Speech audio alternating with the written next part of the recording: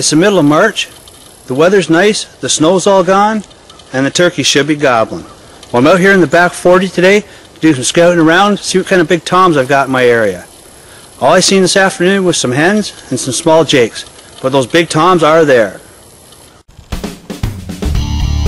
About doing some scouting around for some long beards. Just some jakes, but there's a nice one right there. An 8 or 10 inch beard.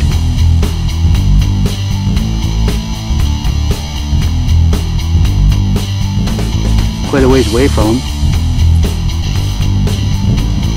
I'm going to take a walk down, see how close I can get to him. There's big long beard. See him in a couple weeks.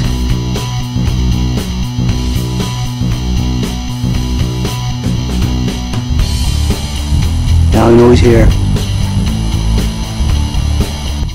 What an awesome afternoon. I found that big long beard I've been looking for.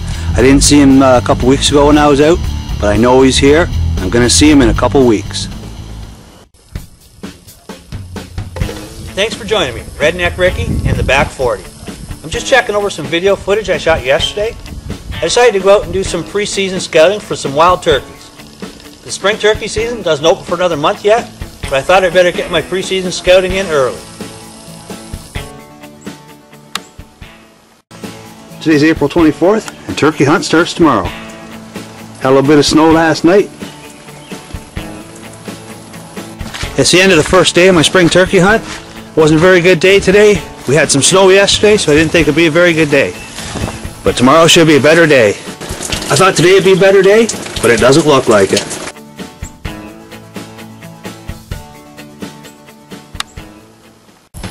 It's the third afternoon of my spring turkey hunt.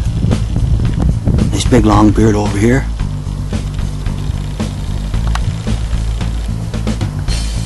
Got a good 8 or 10 inch beard on him. Try and call him over here. Well, it's time to head home again. All I saw was that nice big uh, long beard out there. The weather hasn't been very nice. It's an awful cold and windy today. It's been raining for the last couple days. But the forecast is nice and sunny and warm for the next four days. So it's time to get out hunting. I'm just heading out for another afternoon of turkey hunting. Wasn't very good yesterday. They said it was supposed to be sunny today, but it's pretty cloudy.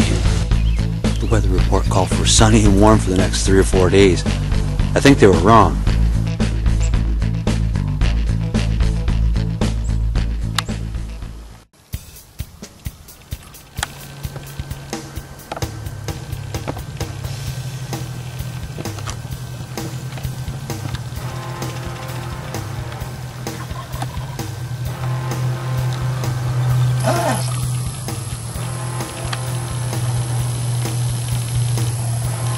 There's that nice long beard. Got my decoy out today. He's answering my call.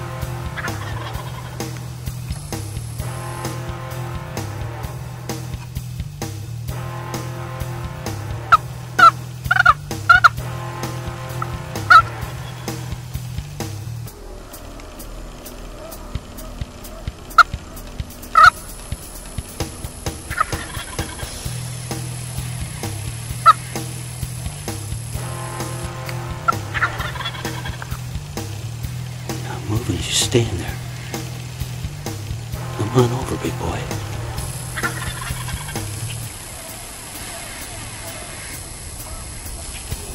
He's just standing there fanning. Come on over, Mr. Longbeard.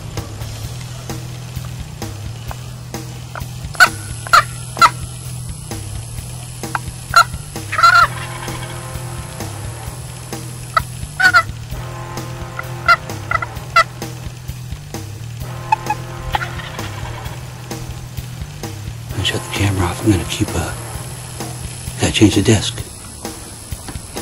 What a time to have to change the disc.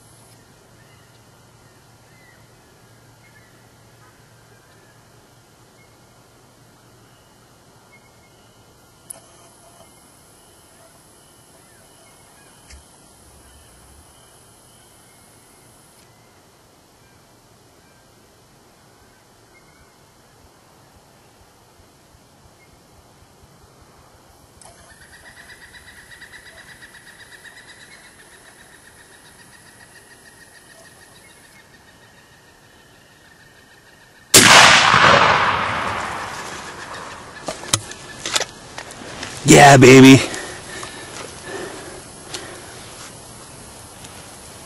Woo! Wow! Oh my god. Why'd that happen quick, man?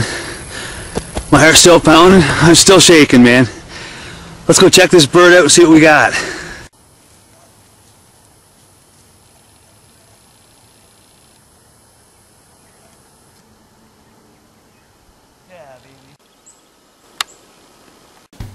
Awesome hunt that was, boy. I was only here for an hour. Called that gobbler from a distance over here.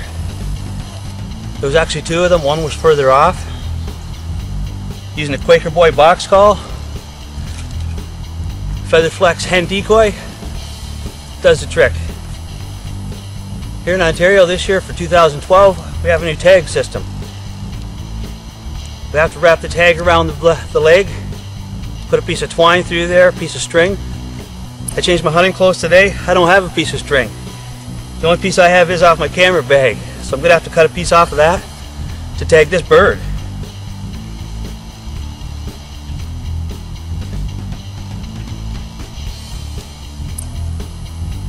Well, nice month that was, boy. I was only here for an hour. Called that Tom off from a long ways. Quaker Boy box call. I stopped calling, he wasn't moving at all, so I stopped calling him. And they decided to come over and check her out. Featherflex decoys, boy, work great.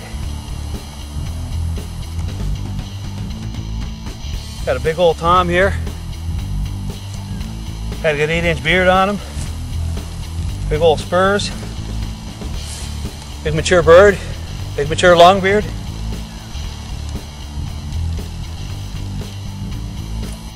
He came in close to that decoy. I just had to wait till he dropped his feathers and raised his head a little bit.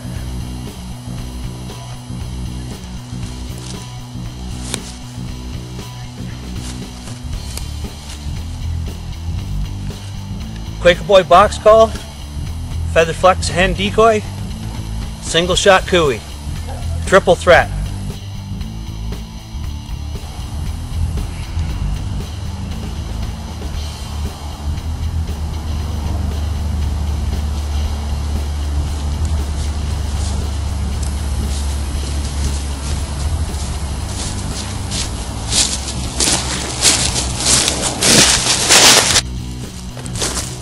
Even though I've had a bad heart attack, I don't let that stop me from doing what I love to do.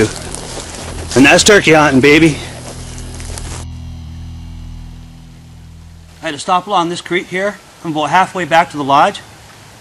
This bird and all the camera gear was starting to get heavy. This bird was weigh over 20 pounds. I still have quite a walk before I get to the lodge. I finally made it back to the lodge.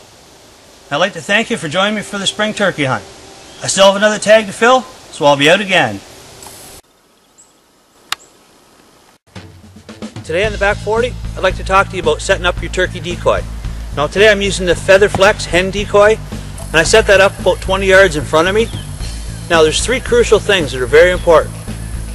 One, to set the decoy up on high ground so the old longbeard can see it.